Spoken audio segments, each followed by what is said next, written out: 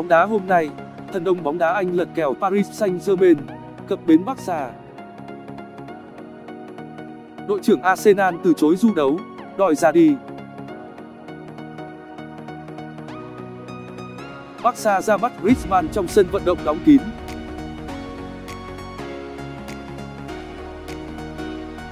Lộ lý do Lukaku không tập cùng MU là những tin tức đáng chú ý trong bản tin ngày hôm nay. Tứ kết CAN 2019, Algeria nhọc nhằn vào bán kết sau loạt sút luân lưu ở hai trận đấu còn lại của tứ kết CAN 2019. Trong khi Tunisia giành chiến thắng 3-0 trước Madagascar thì Algeria phải dùng tới loạt sút luân lưu mới loại được bờ biển Nga. Cuộc chạm trán giữa bờ biển Nga và Algeria trên sân New Suez khiến nhiều cổ động viên tiếc nuối bởi họ mong chờ hai đội sẽ gặp nhau tại chung kết CAN 2019 và màn so tài giữa hai ứng viên vô địch cũng không khiến các fan phải thất vọng. Cả bờ biển Nga và Algeria đều chơi tấn công khá cởi mở, do đó, thủ môn đôi bên đều phải hoạt động khá vất vả. Phút 20, Algeria vượt lên nhờ tình huống làm bàn của của Sofian Febbouli. Cầu thủ mang áo số 10 này đã có pha dứt điểm rất nhanh trong vòng 16m50 sau đường căng ngang bên cánh trái của Rami Bensebaini. Những nỗ lực trong hiệp một của bờ biển Nga không mang lại hiệu quả trước hàng thủ khá kỷ luật của Algeria. Phải chờ tới phút 60, bờ biển Nga mới tìm được bàn thắng quân bình tỷ số. Phút 60, Jonathan Corsia sau pha phối hợp với Wilfried Zaha đã đi bóng khéo léo trong vòng vây cầu thủ đối phương trước khi dứt điểm chìm hiểm hóc về góc xa, gỡ hòa 1-1 cho bờ biển Nga. Đó cũng là kết quả cuối cùng của 90 phút. Bước vào hiệp phụ, bờ biển Nga và Algeria đều không tạo DUEC nhiều tình huống sóng gió về phía cầu môn đối phương. Do đó, họ phải dùng tới loạt sút luân lưu. Kết quả, Algeria giành chiến thắng 4-3 khi chỉ có một cầu thủ sút hỏng là Youssef Bellali còn phía bờ biển Nga có tận hai người là Wilfried Boni và Ceresoli.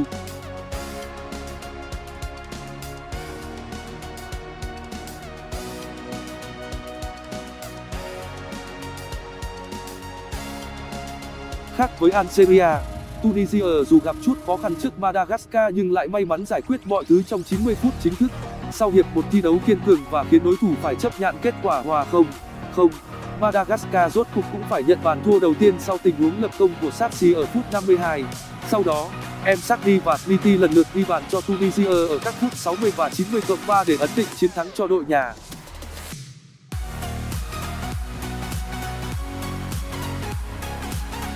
Thần đồng bóng đá Anh lật kèo Paris Saint-Germain, cập bến Barca. Barcelona vừa chính thức ra mắt Louis Berry với tư cách tân binh của đội bóng. Để sở hữu cầu thủ được mệnh danh là thần đồng của bóng đá Anh, Barca đã vượt qua hàng loạt câu lạc bộ lớn, trong đó có Paris Saint-Germain. Louis Berry trước đó đã bay tới Paris thực hiện thủ tục kiểm tra y tế với đội bóng Pháp nhưng lại thay đổi quyết định vào phút chót và lựa chọn Barcelona. Dù Paris Saint-Germain trả mức đãi ngộ cao hơn nhưng hứa hẹn về tương lai tươi sáng từ Barca đã thuyết phục được ngôi sao 16 tuổi. Berry đã hoàn tất thủ tục kiểm tra y tế và ký hợp đồng 3 năm với Barca vào sáng nay. Barca chỉ mất 130.000 euro tiền phí đào tạo để trả cho West Brom. Louis Berry gia nhập West Brom từ năm 6 tuổi, được coi là tài năng trẻ sáng giá nhất của câu lạc bộ. Anh giúp đội U18 lọt vào bán kết và rút cúp với 4 lần lập công. Berry còn giành được danh hiệu chiếc giày vàng cùng đội tuyển U16 Anh tại giải đấu Van Zeeman vào tháng 11 năm ngoái.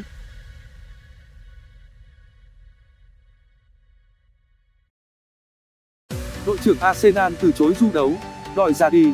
Trưa ngày 11 tháng 7 giờ Anh, toàn đội Arsenal tập trung tại khu huấn luyện London Colney để chuẩn bị cho chuyến du đấu tới Los Angeles. Laurent Koscielny đã lái xe tới Colney nhưng không mang theo hành lý. Cầu thủ 33 tuổi lên phòng gặp trực tiếp tân giám đốc kỹ thuật Edu để yêu cầu được rời câu lạc bộ sau 9 năm gắn bó. Từ quê nhà Pháp, Lyon đang tích cực chờ đợi diễn biến của sự việc. Đội bóng Pháp đã đưa ra đề nghị 2 năm kèm điều khoản gia hạn thêm 1 năm với Koscielny. Arsenal giận dữ với hành động của Koscielny. Thông báo trên trang chủ, Arsenal cho biết, chúng tôi rất thất vọng về hành động của Koscielny, bởi nó trái với quy tắc của đội bóng. Nguyện vọng của Koscielny là được ra đi dưới dạng cầu thủ tự do dù anh vẫn còn thời hạn một năm hợp đồng với pháo thủ. Tất nhiên, Arsenal sẽ không chấp nhận đề nghị này. Bởi thế, bất kỳ câu lạc bộ nào muốn có sự phục vụ của trung vệ 33 tuổi sẽ phải bỏ ra khoản tiền chuyển nhượng khoảng 10 triệu bảng.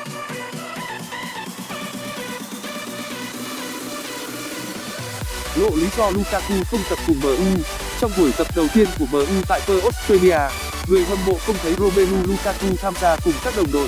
Giữa lúc tương lai Lukaku đang bất ổn tại MU có tin đồn rằng anh bỏ tập để gây áp lực lên câu lạc bộ. Sự thật không phải như vậy. Theo truyền thông anh, lukaku gặp chút vấn đề về thể lực nên cần sự theo dõi sát sao từ đội ngũ y tế. Thay vì ra sân, lukaku đã tập luyện cùng với anthony martial trong phòng gym. Trong lúc đó tương lai của lukaku dự kiến được chốt vào cuối tuần này giám đốc thể thao piero ausilio của inter milan đã hẹn gặp phó chủ tịch ed woodward của mu tại trụ sở ở london để bàn về thương vụ lukaku inter muốn thuyết phục mu bằng đề xuất 70 triệu euro được trả dần trong 3 năm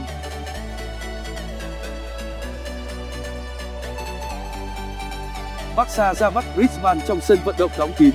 Tờ Marca loan tin Barca dự tính sẽ ra mắt tân binh Antoine Griezmann trong sân vận động Camp Nou đóng kín cửa. Câu lạc bộ lợi dụng một thực tế là sân cỏ Camp Nou cần được chỉnh trang và thay cỏ để không giới thiệu ngôi sao của mình trước công chúng. Nhưng thực tế, Barca muốn tránh những rắc rối có thể nảy sinh trong ngày ra mắt Griezmann. Tiền vệ người Pháp vốn không được lòng cổ động viên Barca khi đã từng từ chối đội bóng mùa trước. Griezmann dự kiến sẽ ra mắt Barca trong vài ngày tới. Nhà vô địch Liga hiện đang hoàn tất nốt những thủ tục liên quan tới việc giải phóng hợp đồng 120 triệu euro giữa Griezmann và Atletico Madrid.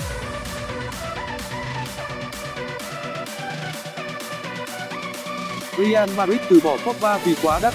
Theo báo chí Tây Ban Nha, Real Madrid muốn từ bỏ việc đeo đuổi Paul Pogba vì họ không đáp ứng được mức giá mà MU yêu cầu. Đội bóng chủ sân Bernabeu muốn chiêu mộ Pogba trong mùa hè này để chiều lòng huấn luyện viên Zinedine Zidane. Tuy nhiên quỷ đỏ sẽ chỉ nhả Pogba nếu như họ nhận được đề nghị trị giá 161 triệu bảng. Con số này quá lớn và Real Madrid không thể kham nổi. Huấn luyện viên Zidane lúc này khó có thể thuyết phục được ban lãnh đạo Real Madrid đưa Pogba về Bernabeu khi mà rào cản về mặt giá cả là quá lớn. Pogba đã lọt vào đội hình xuất sắc nhất Premier League mùa trước. Anh đã lên đường đi du đấu cùng với MU. Người đại diện của Pogba, Mino Raiola tuyên bố rằng tiền vệ người Pháp muốn ra đi. Gần đây, huấn luyện viên Ole Gunnar Solskjaer cho biết MU chưa nhận được lời đề nghị nào về trường hợp của Pogba.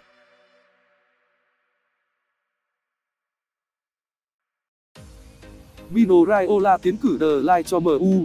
Theo tiết lộ của nhà báo Ian McGarry trong chương trình Transfer Window Podcast thì chính Mino Raiola đã mời MU chiêu mộ The Line, thân chủ của mình. Raiola cũng là người đại diện của Paul Pogba, cầu thủ đang khoác áo MU. MU chắc chắn rất quan tâm tới The Line. Vào cuối tuần trước, tôi được nghe kể rằng Mino Raiola đã trở lại Old Trafford và đề nghị Ed Woodward, phó chủ tịch điều hành của MU mua The Line. Vấn đề ở đây không phải là khoản phí mà Ajax yêu cầu 75 triệu euro mà là khoản tiền hoa hồng mà Mino Raiola đòi. Nhà báo Ian McGarry phát biểu, số tiền đó khoảng 10 triệu euro. Bình thường, khoản tiền hoa hồng cho một người đại diện ở các vụ chuyển nhượng thường là từ 6 đến 7%. Tối đa một câu lạc bộ phải trả khoản tiền hoa hồng là 10%. Phí chuyển nhượng cho người đại diện nhưng Raiola luôn đòi con số cao hơn, giống như những gì ông ta đã làm khi đưa Pogba về MU. Tôi nghĩ đây là vấn đề bởi Juventus, MU và Barcelona đều sẵn sàng trả khoản phí mà Ajax yêu cầu, nhưng những câu lạc bộ này không sẵn sàng chấp nhận yêu sách của Raiola. Nhà báo Ian McGarry cho biết.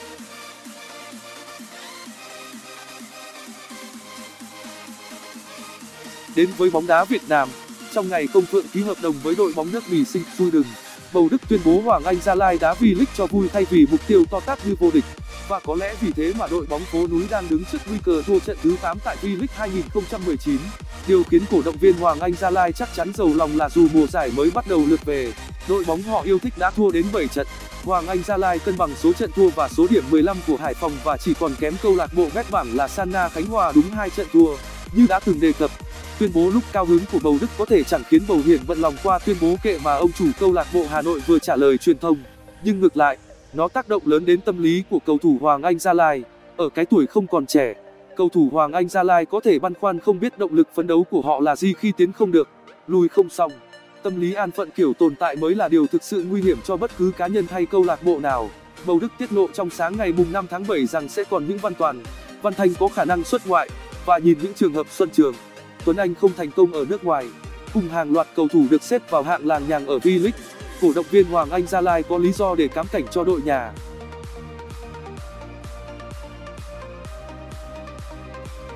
Trở lại với diễn biến V-League 2019, Hoàng Anh Gia Lai có hay không có sự phục vụ của Xuân Trường cũng đã đón nhận trận thua thứ 7 trước câu lạc bộ phải vùng vẫy trong nhóm cuối là Quảng Nam.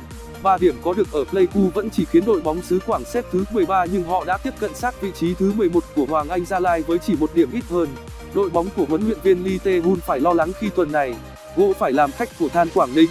Dù vượt qua đối thủ ở cúp quốc gia cách đây không lâu nhưng ở V-League, thầy trò huấn luyện viên Phan Thanh Hùng không chủ động buông xuôi như mặt trận cúp quốc gia. Than Quảng Ninh vừa mất hai điểm đáng tiếc trong những phút cuối trên sân Sài Gòn. Tuy nhiên, họ vẫn bảo toàn vị trí thứ ba và còn kém đội hạng nhì Thành phố Hồ Chí Minh 5 điểm. Đã thua Hoàng Anh Gia Lai hai lần ở mùa giải năm, huấn luyện viên Phan Thanh Hùng cùng các học trò phải nhìn lại mình để gỡ gạc trước đối thủ. Năm ngoái, Than Quảng Ninh đã cho Hoàng Anh Gia Lai phơi áo ba bàn không gỡ ở tầm phả. Khi trở lại sân nhà, Hồng Quân, Xuân Tú, Diachenko sẽ càng lợi hại hơn. Về phía Hoàng Anh Gia Lai, Xuân Trường trở lại cũng chỉ có tác động tinh thần nhất định. Việc rời đất khách với một điểm tuần này cũng có thể xem là thành công với gỗ, bằng không. Phía sau là chân tường. Họ đang đối diện với vị trí áp chót nếu nâng số trận thất bại sau vòng 15 lên con số 8. Hoàng Anh Gia Lai sẽ gặp khó ở vùng mỏ, nhưng họ có thể chưa phải lo vội khi vòng này.